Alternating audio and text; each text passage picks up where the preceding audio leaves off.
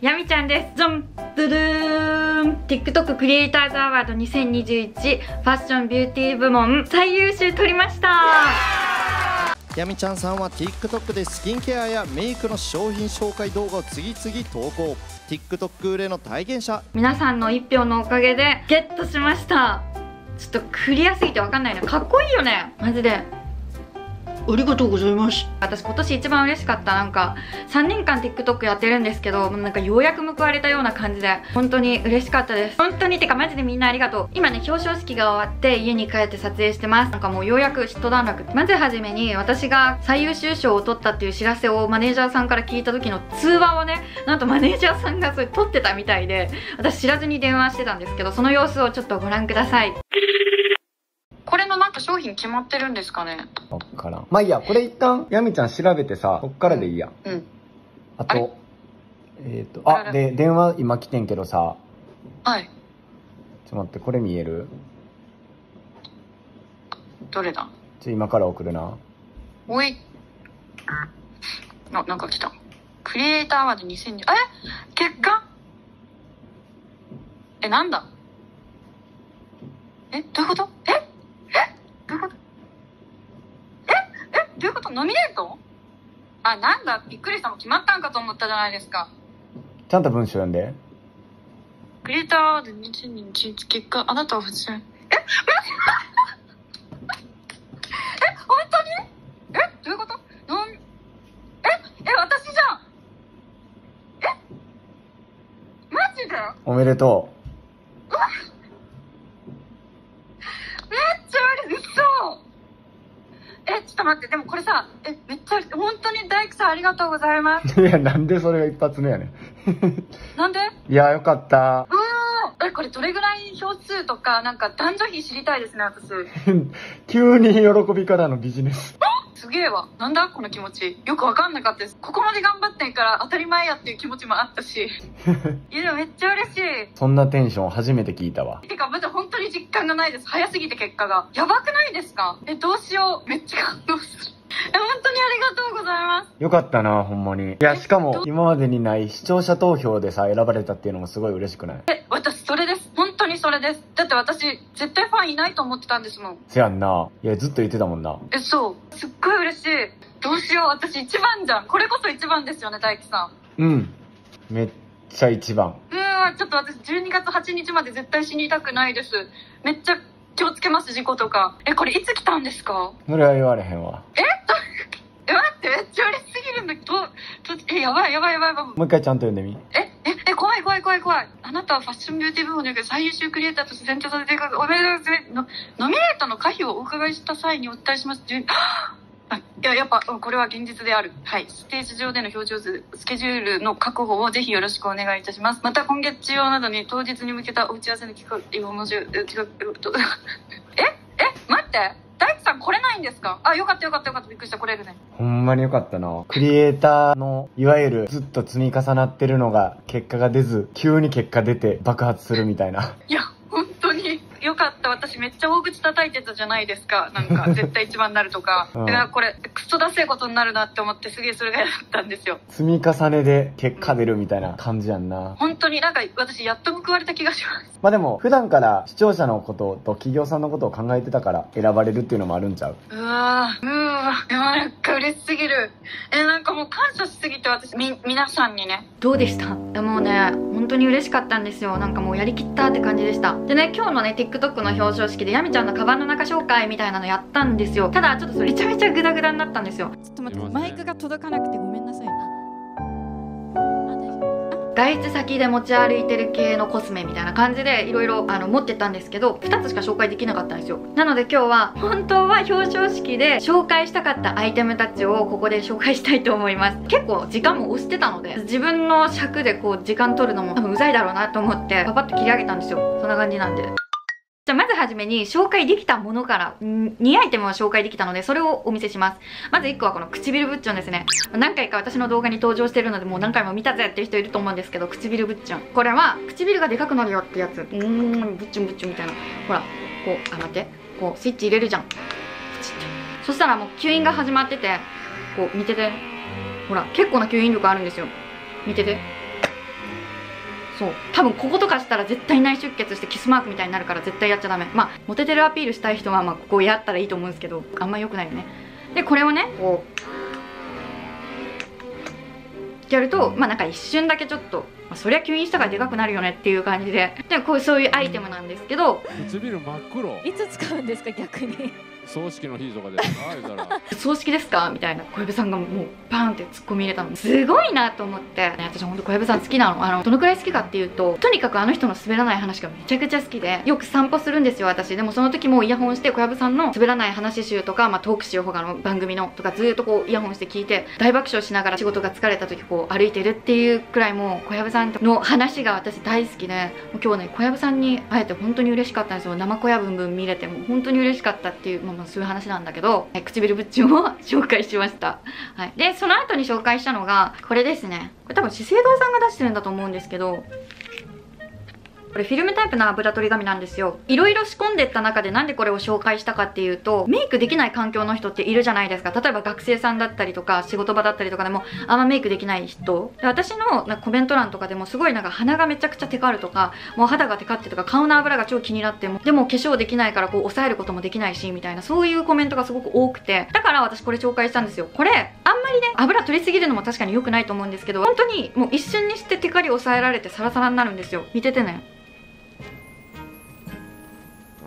めっちゃ油浮いてくるでしょ。ほら。え汚みたいな、まあ、んまり取りすぎも良くないっていう意見も絶対あると思うし私もそう思うんですけどテカってさあいつ油ぎっしゅとかって言われるの嫌じゃん。もうとにかくオイリー肌の人とか鼻がテカテカこうもうベタベタするっていう人におすすめです。ベタベタも一瞬に取れるので別にこれじゃなくてもフィルムタイプの油取り紙だったら全部いいと思います。最近意外とねフィルムタイプ売ってなくて本当に油が気になるっていう方はにおすすめの油取りフィルムでした。まあ、ここからはちょっと紹介しきれなかった外出先で便利に使えるコスメグッズっていうのを紹介していきたいと思います。あ、ちょっとリップ塗っていい？今日はね、ちゃんとプロの方にメイクしていただきました。アイラインがやっぱ全然違うよね。すごいなって思いました。あ、あとね、めちゃめちゃいいファンデーション見つけたんですよ。で、今日そのメイクさんになんかおすすめありますか？みたいなこと聞いたら、RMK のリクイドファンデーションっていうのを勧めてもらって、これ税抜きで4500円なんだけど、これをね、塗ってもらったの今日そのメイクさんに。めっちゃ良くて買っちゃいました。速攻で買った。メイクしてもらって、会場まで向かう間になんかね、あの、RMK さんがあったから、速攻買いました。美容部員さんに聞いたら、RMK さんの中ではすごく薄付きな方、カバー力っていうよりかは薄付きなものなんですよ。本当に肌にこう、ピタッってなんかくっついてっていうか、なんか本当に肌にピタッとくっついて、毛バサが一切なく、素肌をより綺麗に見せてくれるっていう感じだったの。今日はね、お昼、まあ、12時くらいからメイク始めて、今夜中の2時に撮影してるんですけど、鼻のとことか嫌な崩れ方全然しないんですよ。なんかね、肌に合うファンで、自分の肌質に合うファンで見つけるだけで、もうこんなにメイクが映えるんだなって、まあまあ今日、まあ、メイクさんがうまいっていうのもあるけど、本当にベースって大事だなって思いました。今まではすごいカバー力がありすぎて、なんか逆にプラス5歳肌ぐらいになってたと思うの。なんか見た目。ちょっと老け顔なんかその厚化粧感出ちゃってたんだけど、これはもう素肌感でめっちゃ良かった RMK。だからこれからもファンデーションいろいろ試してみようって思うきっかけになりました今日は。はい。RMK 良かった。そう。あ、で、これも紹介しようと思ってたアイテムです。キャンメイクのメイクミーハッピーっていうあの香水シリーズのこのトープの香りが出てたから、あ、でもこれいただいたんだっけな、そういえば。うん、これはね、いただいたんですよ。でもね、もうこのトープの香りがやばいから。くんくん。あ、めっちゃいい香り。あ、そう。なんかさ、今私、あの雑誌のビビにこれの香水のやつ私紹介してます。今月号のビビに私が激戦するプチプラコスメ10選っていうあの特集組んでいただいて、1ページボンって載ってるので、そこにいろんなおすすめコスメアイテム載せてるので、あのぜひ立ち読みでも見てみてください。120何ページとか忘れたけど。まあそんな感じです。で、リップはセザンヌ使いました。05番、ウォータリーティントリップ。肌なじみがいいの。てか私の肌色に合ってるんだと思う。これ今も全部落ちてる。で、これね、ブルーベース向けの色だと思うの、どっちかといえば。で、私今日言われたのがね、私ずっと自分のことイエローベースだと思ってたんだけど、今日聞いたらさ、メイクさんに、いや、ブルーベースだよって言われて、なんか一見イエローベースに見えて、あなたはブルーベースだよって言われて、でもね、ちょっと納得したの。ファンデーション黄色合ってないなって確かに思ってたから、あ、私ブルーベースだったんだと思って。だからね、一回美容部員さんのとこ行くなりなんなりして、プロの人に私ってブルーベースですかイエローベースですかっていうのを聞いた方がいいと思う。私だから結構間違ったコスメ選びを今まで知ってたなって、あの自分の肌色に合わないものを選んでたなって思って。だから私ね、最近メイクするのあんま好きじゃなかったの。なんかすっぴんの方が可愛いじゃんとか思ってて。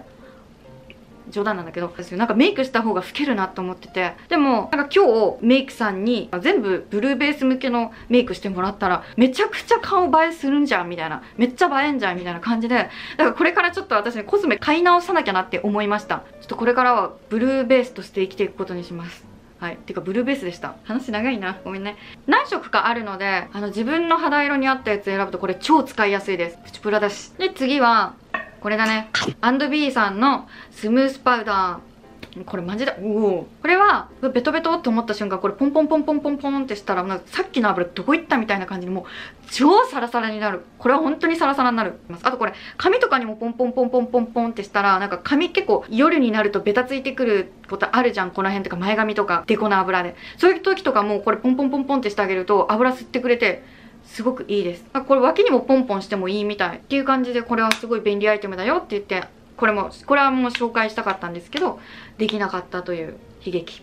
ハンドビーのスムースパウダーでした。これでも注意点があって、こう開けるときに、ここも一緒に開けちゃうことがあるんですよ。私一回やって、パウダーぶちまけたので、ここ持って、こう、開けるっていうのを徹底してください。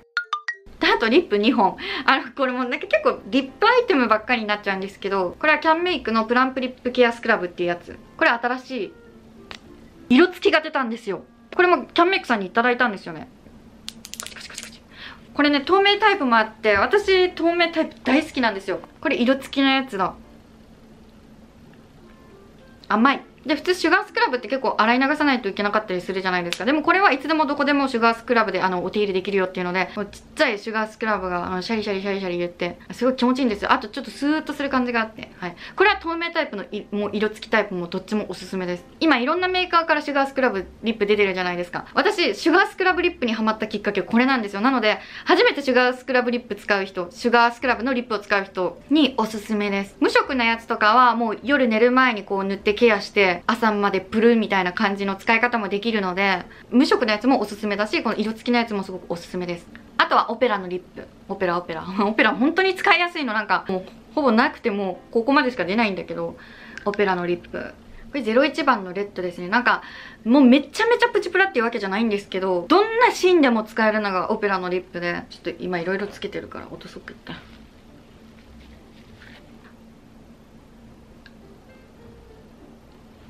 発色も強いんだけど透明感もあるから全然けばくもならないし、リップクリーム感覚で使えるリップカラーです。ちょ冬とか本当に使いやすいと思います。お食事会とかデートとかそういうのでも使えると思うし友達と遊ぶ時とかもリップクリームとしてあのもう一気にこう乾燥したカッサカサの唇から梅雨プルプリンみたいなそういう唇になれるのでオペラのリップはもうこれもう何年も前から私オペラをリピートしてるんですけどおすすめです多分これパッケージ前のかなちょっと古いかもしれないです。全色ぐらい持ってるぐらいオペラのリップは好きです。みんなさ、いろいろいっぱいカバン持ってると思うんですけど、全部のカバンに1本これ入れといたら本当に助かると思います。ただね、やっぱツヤ系のリップなので、マスクにはつきやすくなるかもしれないんですけど、まあまあそういう時はね、ティッシュオフとかして、するなりして、調整していただければなと思います。ということで、本当は紹介したかったアイテムたちを、はい、改めてここで永久保存版として紹介させていただきました。いや、本当に嬉しかった。です。本当に一番になりたくてずっと頑張ってきたのでめちゃくちゃ嬉しいです。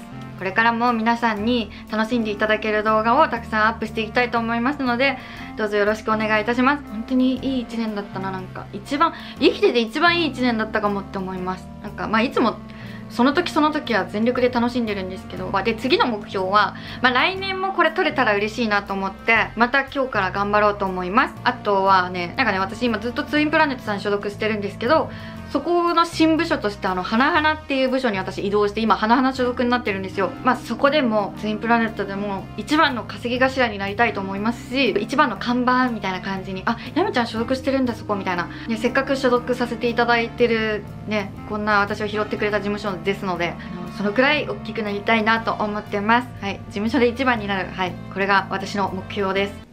来年の？いや、うん、来年の目標です。頑張りますみんなありがとうじゃあまた次の動画でお会いしましょう。ほなね